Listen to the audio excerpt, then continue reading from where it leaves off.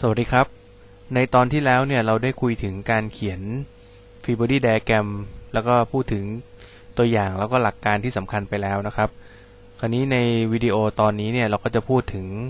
รายละเอียดบางอย่างที่ทำให้การคำนวณของนักเรียนเนี่ยทำได้ง่ายขึ้นนะครับ สิ่งที่จะพูดต่อไปนี้เนี่ยจะเป็นกรณีของปัญหา 3 มิตินะครับ ซึ่งเดี๋ยวนักเรียนจะได้เจอในอีก 2 สัปดาห์ถัดไปนะครับ ถ้านักเรียนกลับไปพลิกดูในหนังสือของนักเรียนในบทที่2นะครับนักเรียนก็จะพบว่าตัวรองรับเนี่ยมันจะมีตัวรองรับในกลุ่มที่เป็นปัญหา 2 มิติ กับตัวรองรับที่อยู่ในกลุ่มปัญหา 3 มิตินะครับ ตอนนี้อยากให้นักเรียนลองพลิกดูประกอบการบรรยายไปด้วยนะครับ นักเรียนก็จะเห็นว่าตัวรองรับในกลุ่ม 3 มิติเนี่ยจะมีตัวรองรับประเภทที่เรียกว่า single journal bearing นะครับ truss bearing นะครับ สลักลื่นนะครับ หรือว่า single smooth pipe นะครับ แล้วก็ single hinge หรือว่าข้อต่อหมุนนะครับ ตัวรองรับพวกนี้เนี่ย ถ้าเป็นปัญหา 3 มิตินะฮะ ย้ำว่า ถ้าเป็น เป็นปัญหา 3 มิตินะครับ ตัวรองรับเหล่านี้เนี่ย อาจจะทำให้เกิดโมเมนต์ที่เกินความจำเป็นขึ้นมาได้นะครับ โมเมนต์ที่เกินเกินความจำเป็นในการทำให้เกิดสภาพสมดุลเนี่ย เราเรียกมันว่า redundant moment นะครับ เพราะฉะนั้นต้องจำ keyword ดีๆนะครับ keyword ที่อาจารย์พูดถึงตอนนี้ก็คือว่า ถ้าเป็นปัญหา 3 มิตินะครับ แล้วเป็นตัวรองรับในกลุ่มนี้นะครับ bearing thrust bearing single smooth pin หรือว่าเป็น single hinge เนี่ยสี่ตัวนี้อาจจะทำให้เกิดโมเมนต์ที่เกินจำเป็นในการทำให้เกิดสภาพสมดุลหรือว่า อาจจะเกิด redundant moment ขึ้นมาได้นะครับคราวนี้ redundant moment คืออะไรนะครับ เดี๋ยวเราจะได้คุยกันต่อ แต่ว่าสภาพที่เกิดเนี่ยนะครับ สภาพโมเมนต์ที่เกิดเป็นโมเมนต์ที่เกินจำเป็นตรงนี้เนี่ย ในการคำนวณจะทำให้นักเรียนแก้สมการสมดุลไม่ได้นะครับทำให้การคำนวณติดขัดไปหมดนะครับ เพราะฉะนั้นการที่เราดูมันออกหรือว่าดูเป็นว่าไอ้ตัวนี้มันเป็นโมเมนต์เกินจำเป็น หรือว่า redundant moment เนี่ยก็จะทำให้เรา พิจารณาตัดมันออกจากการคำนวณได้ก่อน ซึ่งทำให้การคำนวณสมดุลเนี่ยทำได้นะครับ เดี๋ยวเรามาดูดีเทลกันนะครับว่ามีวิธีพิจารณาอย่างไงนะครับ สมมติจานมีประตูบานหนึ่งนะครับ ประตูบานนี้เนี่ยมีตัวรองรับเป็นเป็นบานพับอยู่นะครับนักเรียนลองเปิดดูในตำราในบทที่ 2 นะครับ บานพับจะแทนด้วยแรงอะไรบ้างนะครับ นักเรียนก็จะเห็นว่าตัวบานพับเนี่ย เราสามารถจะเขียนตัวแรงที่แทนตัวบานพับได้ดังนี้นะครับ เราก็เริ่มจากการให้ตรงนี้เป็นจุด B แล้วกันนะครับ อาจารย์เอามาเขียนตรงตรงนี้แล้วกันนะครับ ตรงนี้คือจุด B ตำแหน่งที่มีบานพับบนนะครับ ก็จะมีแรงกระทำอยู่นะครับ มีแรง3แรงนะครับ ก็จะมีอยู่ 3 แนวตามนี้นะครับ ก็แนวนี้ก็จะเป็น px นะครับ แนวนี้ก็จะเป็น py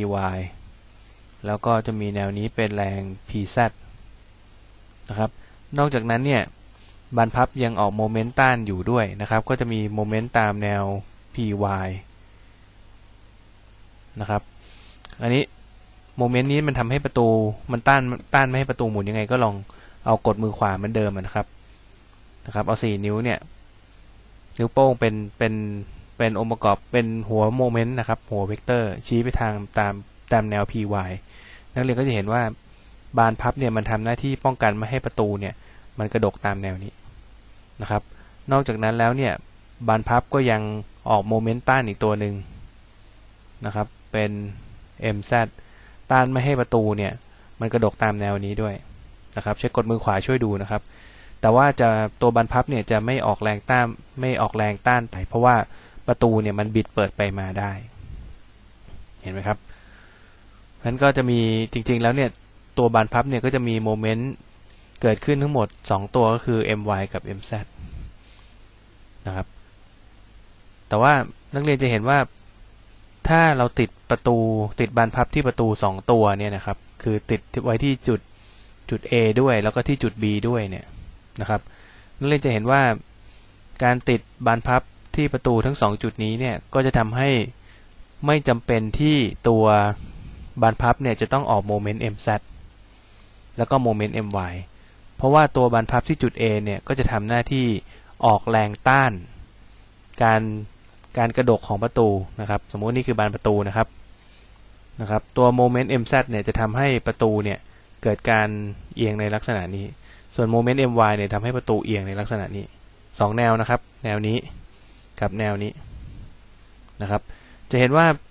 ทั้งแนวนี้แล้วก็แนวนี้เนี่ยตัวแรงที่จุดรองรับที่จุด A เนี่ยนะครับ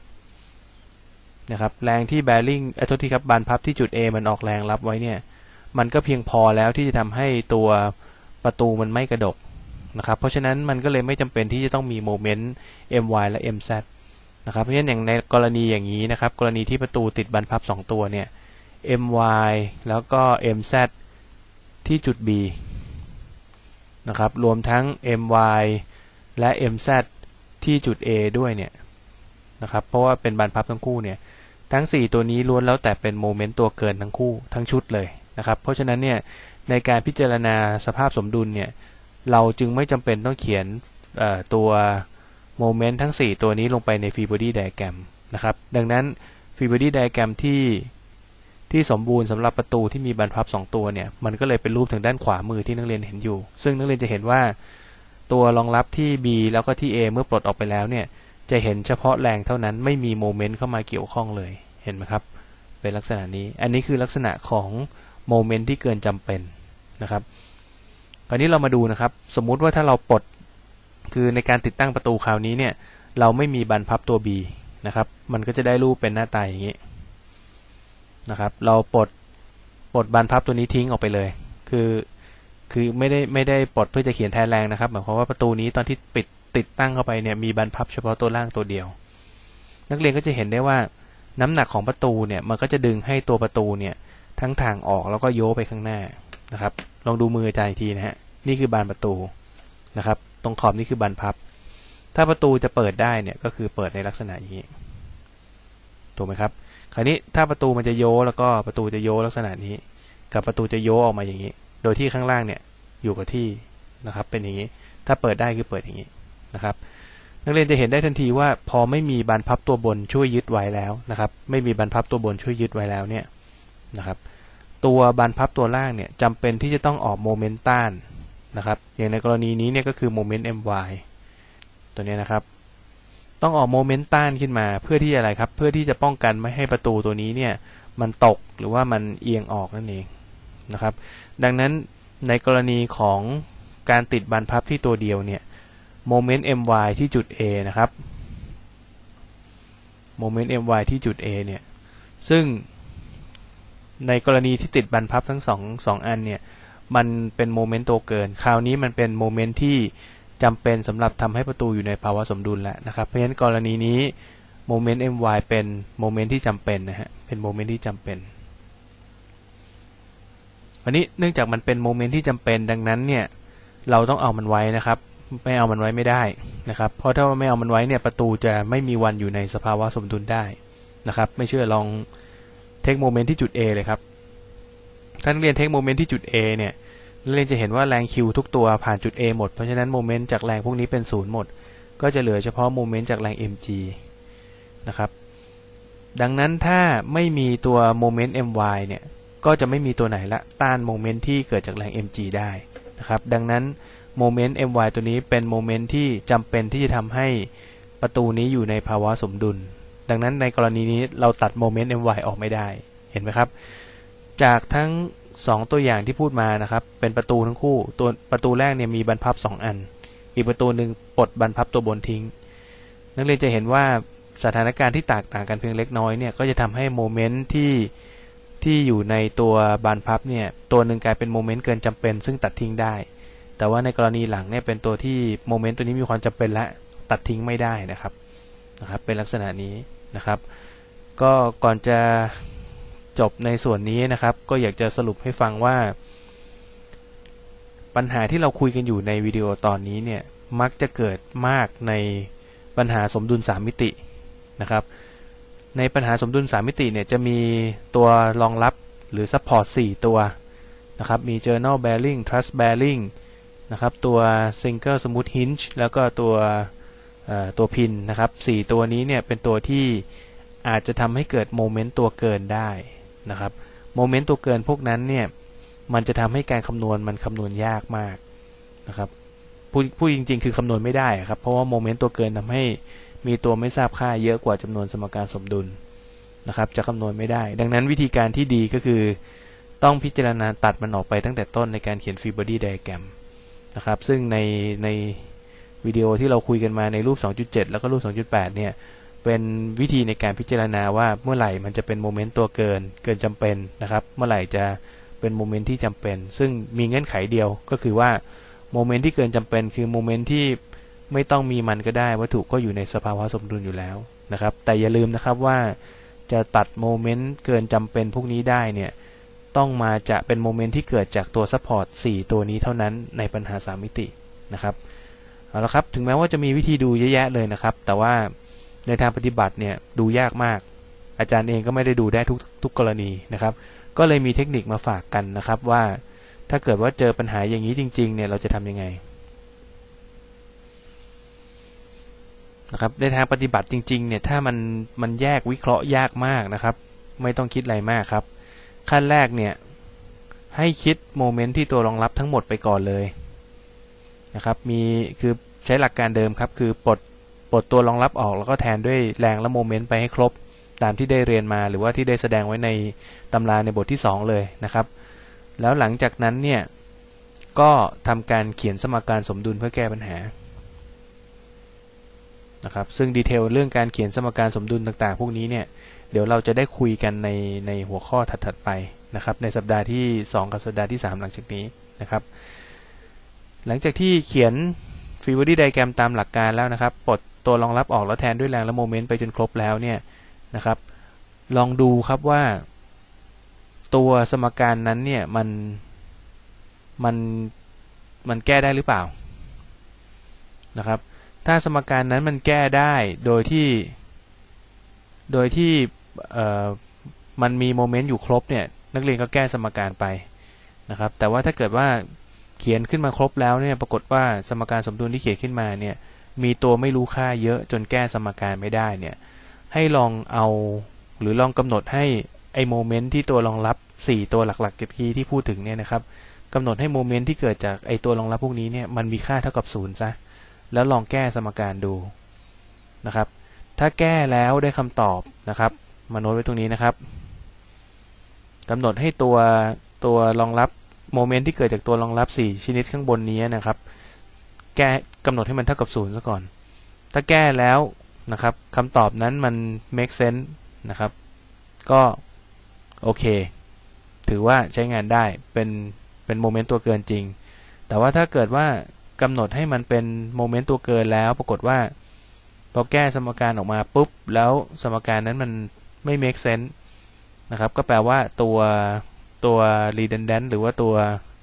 โมเมนต์ตัวเกินที่นักเรียนคิดว่ามันเป็นไม่ใช่ มันเป็นโมเมนต์ที่มีความสำคัญนะครับ เพราะฉะนั้นเดี๋ยวเราสรุปเป็นวิธีการคิดง่าย ๆ อย่างนี้นะครับ เวลามีปัญหาที่มันซับซ้อนมากๆ ดูโมเมนต์ตัวเกินไม่ออกจริง ๆ เนี่ย ขั้นแรกก็คือเขียนสมการสมดุลให้ครบ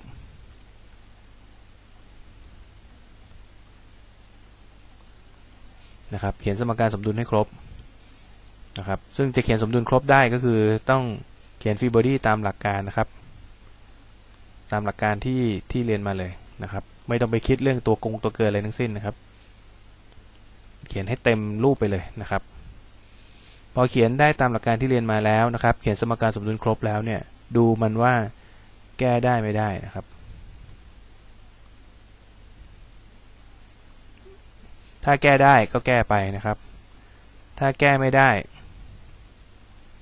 ถ้าแก้ไม่ได้นะครับ ลองให้ โมเมนต์ที่ support นะครับ support ก็คือตัวรองรับนะครับ ลองให้โมเมนต์ที่ support เนี่ยมันเท่ากับศูนย์ซะนะครับ ถ้าแก้ไม่ได้นะครับ ถ้าให้โมเมนต์ที่ support มันเท่ากับศูนย์แล้วนะครับ ปรากฏว่าแก้ได้นะครับ แก้ได้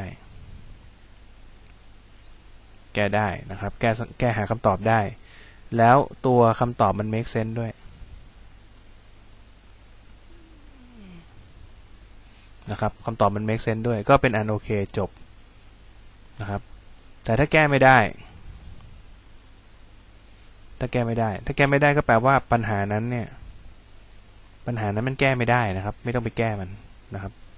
ก็จบไม่ต้องไปคิดอะไรมากนะครับงั้นนักเรียนจะเห็นว่าถ้าเป็นวิธีการนี้เนี่ย พอคำตอบมันแก้ได้แล้ว make sense ตอนที่เราเซตโมเมนต์ที่ support เท่ากับศูนย์ตรงนี้ก็คือการลองกำหนดดูนั่นเองว่า ตัวโมเมนต์ที่ตัวรองรับนั้นเนี่ยมันเป็น redundant moment หรือเปล่านะครับ วิธีการนี้เนี่ยเดี๋ยวเราจะได้คุยกันในตัวอย่างการคำนวณใน 3 มิติ อยากให้นักเรียนอดใจรอไว้สักพักหนึ่งคือปล่อยให้มันงงไปก่อนนะครับ แล้วเดี๋ยวตอนที่เราคุยกันเรื่องการคำนวณปัญหาใน 3 มิติเนี่ยเราจะยกตัวอย่างเรื่อง redundant moment ขึ้นมาอีกทีหนึ่งนะครับ ซึ่งถึงตรงนั้นเนี่ยถ้านักเรียนจำวิดีโอตอนนี้ไม่ได้อยากให้กลับมาดูอีกทีนะครับ ว่าเราคุยกันเรื่องนี้ไว้ว่ายังไงนะครับ ก่อนจะจบวิดีโอนี้ไปนะครับ วิดีโอนี้ไม่ได้มีความสำคัญในการเขียน free body diagram ให้ถูกต้องเลยนะครับ แต่วิดีโอนี้เนี่ยเป็น trick ในการคำนวณนะครับ เป็นเป็นเป็นเขาเรียกไงเป็นเทคนิคในการคำนวณที่จะทำให้นักเรียนสามารถจะแก้ปัญหา 3 มิติเนี่ยได้อย่างมีประสิทธิภาพมากขึ้น ซึ่งทริคนั้นก็คือการพิจารณาโมเมนต์ตัวเกิน หรือว่า redundant moment นะครับ ก็อย่างที่ย้ำอยากจะย้ำอีกทีนะครับ ปัญหา redundant moment มักจะเกิดขึ้นในปัญหา 3 มิติ 2 มิติไม่ต้องไปสนใจมันมาก ไม่ค่อยเกิดนะครับ แล้ว redundant moment เนี่ยจะเกิดขึ้นเฉพาะในตัวรองรับที่ ที่มีชื่อดังต่อไปนี้เห็นไหมครับ journal bearing touch bearing smooth pin แล้วก็ single hint 4 ตัวนี้เท่านั้น ตัวอื่นจะไม่เกิดนะครับนะครับ ถ้าเกิดเจอ redundant moment มันจะทำให้แก้สมการสมดุลไม่ได้ ดังนั้นเซตให้มันเท่ากับ 0 แต่นักเรียนต้องดูให้ดีๆนะครับ ว่ามันเป็น redundant moment จริง ๆ หรือไม่ ถ้าดูไม่ออกจริง ๆ ไม่เป็นไรครับ เขียนสมการสมดุลไปให้ครบ แล้วเดี๋ยวลองกำหนดให้มันเท่ากับ0ไว้ก่อน ถ้าแก้คำตอบออกมาได้ แล้วคำตอบนั้น make sense ก็โอเค ถือว่ามันเป็น redundant moment จริง ๆ แต่ถ้าแก้ออกมาแล้วคำตอบมันไม่ make sense แล้วซะเลย ก็แปลว่าตัว redundant moment ที่นักเรียนตัดไปเนี่ยมันไม่ใช่อะจริงๆมันเป็นโมเมนต์ที่มีความสำคัญ แล้วก็ สมการนั้นมันแก้หาคำตอบไม่ได้เองนะครับเอาละครับก็ตอนนี้ก็คงจะจบแต่เพียงเท่านี้นะครับ เดี๋ยวตอนหน้าเนี่ยเราจะพูดถึง free body diagram ของชิ้นส่วนชนิดพิเศษอย่างหนึ่งที่เราเรียกว่าชิ้นส่วนที่รับแรง 2 แรงกับชิ้นส่วนที่รับแรง 3 แรงนะครับสำหรับตอนนี้ก็คงจะจบแต่เพียงเท่านี้นะครับ